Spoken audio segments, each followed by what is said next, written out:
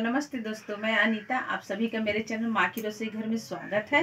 तो आज फिर रेसिपी लेकर आप सभी लोग के लिए आ गए हैं। तो चलिए माँ की रसोई घर में बनाना शुरू करते हैं। तो दोस्तों, आज कुछ चटपटा खाने का मन कर रहा था तो घर में था मूंग दाल भुजिया। तो इसी का सोचे चटपटा कुछ बना लेती हूँ खाने के लिए। तो इसी चटपटा बनाने के लिए हम यहाँ पे इसमें प्याज डाल लेंगे, बारीक कटा हुआ, टमाटर डाल लेंगे, बारीक कटा हुआ, हरा मिर्च डाल लेंगे, बारीक कटा हुआ बारीक कटा हुआ अदरक डाल लेंगे थोड़ा सा और यहाँ पे बारीक कटा हुआ धनिया पत्ता डाल लेंगे। इन सभी को डाल लिए तो अब इसमें हम थोड़े से मसाले डाल लेते थे। यहाँ पे एक चौथाई चम्मच गोलमरीच पाउडर लिए हैं, इसे डाल लेंगे। छोटे चम्मच से आधा चम्मच धनिया पाउडर लिए हैं, इसे डाल लेंगे। एक चौथाई चम्मच लाल मिर्च पाउडर लिए हैं, इसे डाल हरा मिर्च डाले हैं, इसे लाल मिर्च पाउडर थोड़ा सा डाल रहे हैं।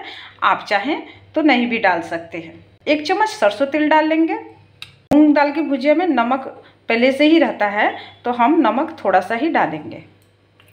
और इन सभी को डालकर अच्छे से मूंग दाल में मिक्स कर लेंगे।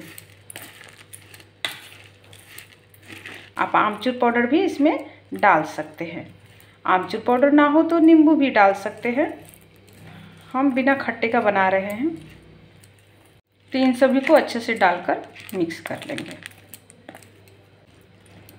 लीजिए दोस्तों, चटपटा मूंग दाल को अच्छे से मिलाकर, बनाकर तैयार कर लिए। तो इसे टेस्ट कर कर देखते हैं दोस्तों, कैसा लगता है। तो सचमुच दोस्तों, बहुत ही टेस्टी बना है ये। मैंने इसे फ़र्स्ट बार ट्राई किया है। बहुत ही टेस्टी बना है दोस्तों, जल्दी से जाइए और आप भी इस तरह बना कर खाइए और बताइए कमेंट कर कर कि मूंग दाल का चटपटा रेसिपी आप सभी को कैसा लगा। वीडियो देखने के लिए मेरा आप सभी का बहुत बहुत दिल से धन्यवाद।